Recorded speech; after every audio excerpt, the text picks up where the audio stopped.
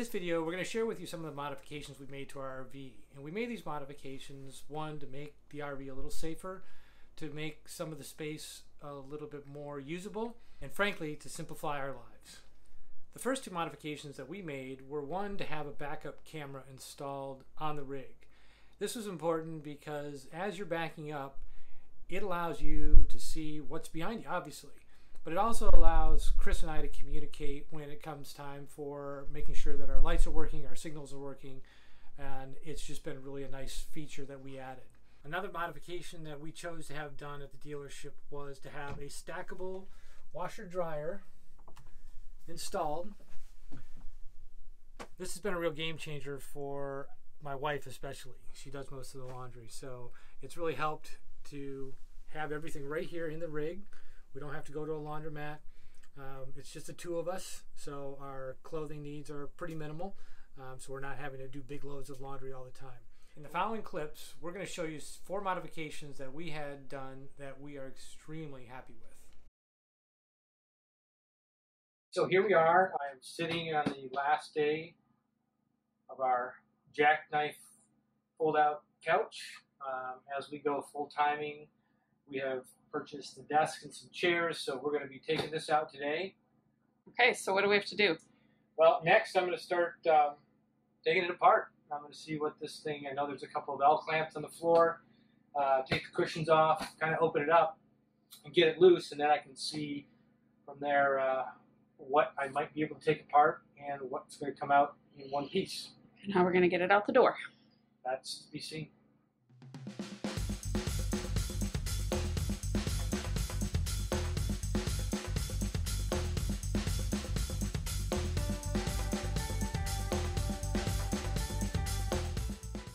Okay, so here we are outside. As you can see, totally disassembled our sofa. Um, it was pretty easy to get out, actually. It was a little bit easier than I had anticipated. Both Chris and I were able to take it out a couple different pieces. We ended up uh, taking the trifold apart off the frame, made things a little lighter, a little more easy to maneuver. So uh, yeah, as you can see, we are outside, and this is outside, and our next project will be the shower. Um, if you have any uh, questions about how this came out or need some assistance, feel free to give us a shout.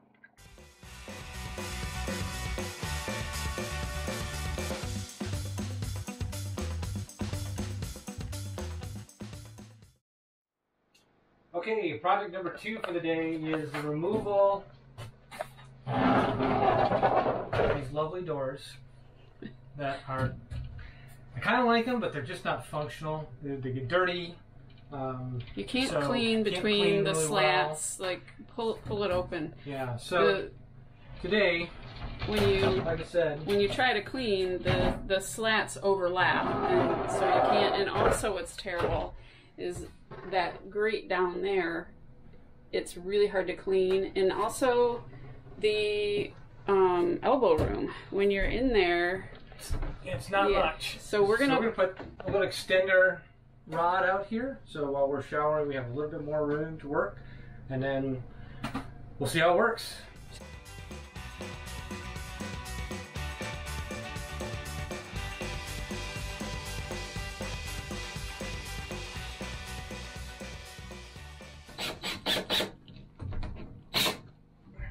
Better about that. What's this step here that you're doing? Right now, we are reattaching the screws that we pulled out from the rail system, just so that we have some sturdiness. Again, this is kind of putting the shower back against the, the studs on both sides. And so we have these little white end caps. We're siliconing the uh, screw as it goes in, so we've got a good seal behind there. So we just pop these little things on and wipe.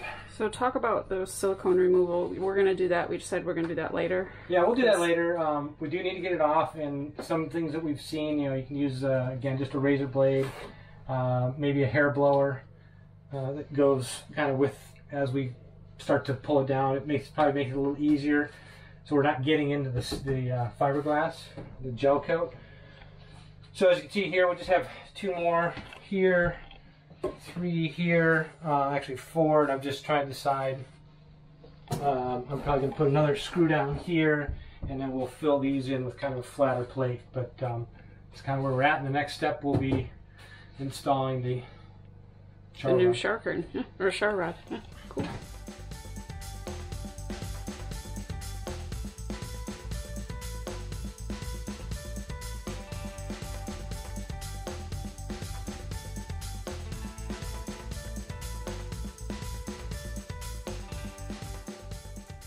See here, our kitchen counter is maybe oh six feet long, and our sink here takes up a good deal of space.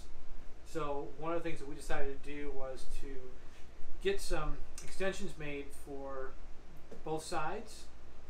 In addition, we had this beautiful stove top cover made. Uh, these pieces were made by Stephen Bryan of Five Hearts Design out of Waco, Texas. And the wood that you see here is both walnut and hard maple. And again, when we put the extensions on, those are the same pieces of wood that we'll see. So one of the things we're going to do now is just unpack what we had shipped to us. Um, again, Stephen Bryan from Five Hearts Design, Waco, Texas. Um, great guy to work with. He was very responsive to our needs. Um, asked us how we wanted this to be finished. Uh, took us about seven to ten days to from start to finish uh, to get these back and this is what we have. So we will have Stephen's information available to you on our comment section. So be sure to look for that. All right, so I'm not a craftsman. I've never done this before. It seems pretty simple. I've got to put a couple brackets on, but I got to obviously make sure that we are level with the top of this counter here. So we're going to have things rolling here and uh, be able to see how this turns out.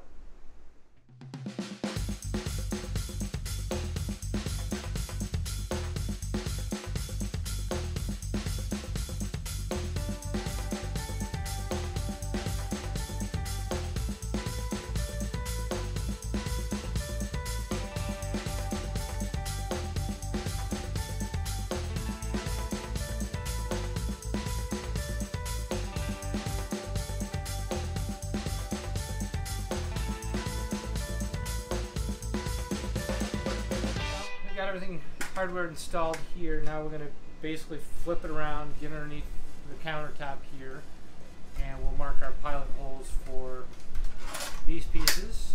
Oops. Wasn't as easy as we thought. no, it is. It was easy. It's just a matter of making sure we have things centered for the wood that we're drilling into underneath.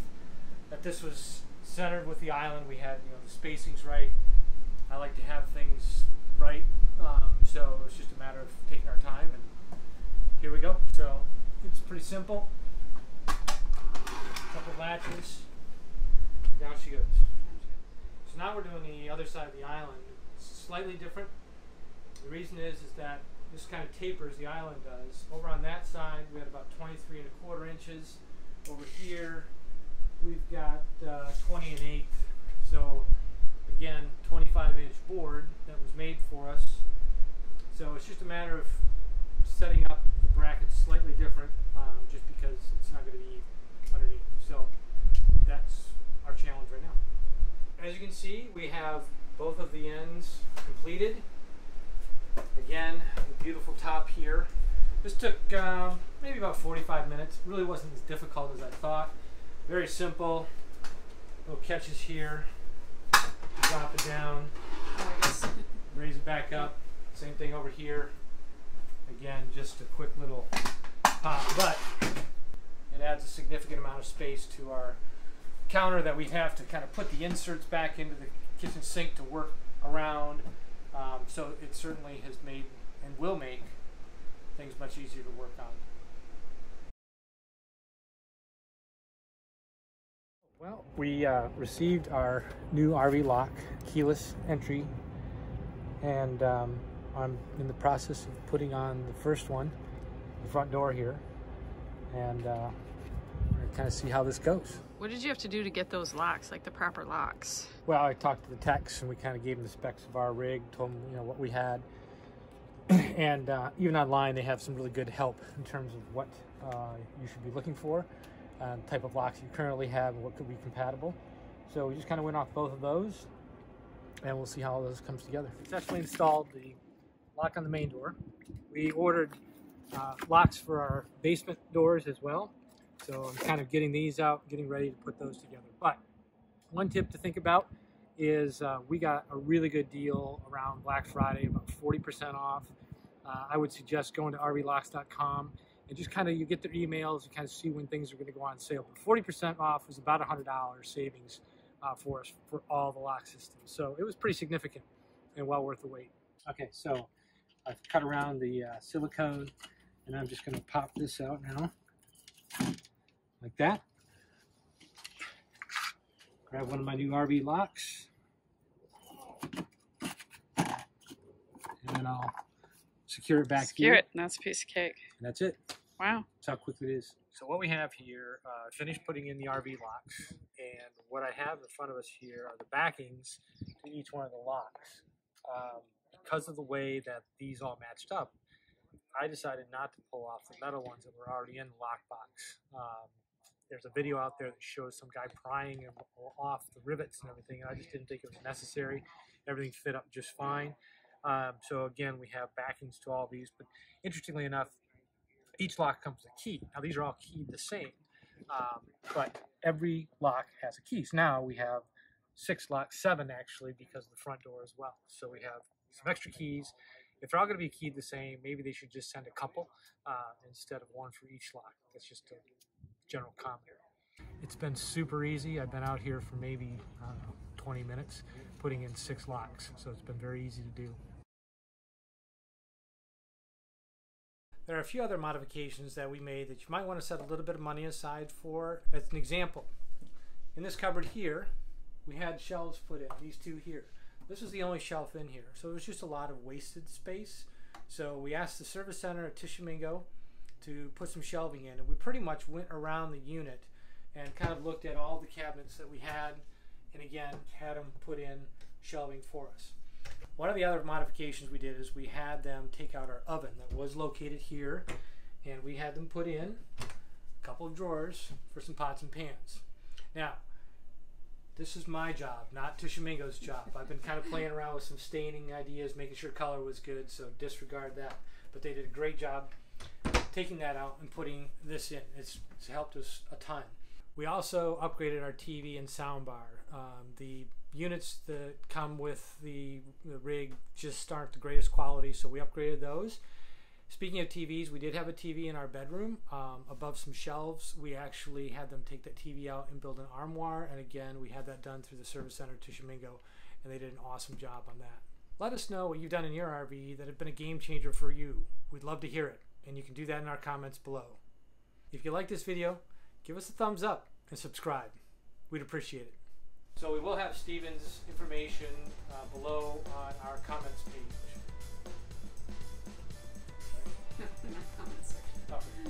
We will have Stephen's information on our comments page. And we made these modifications to make the RV safer, make our space that we're utilizing a little simpler. That's a wrap.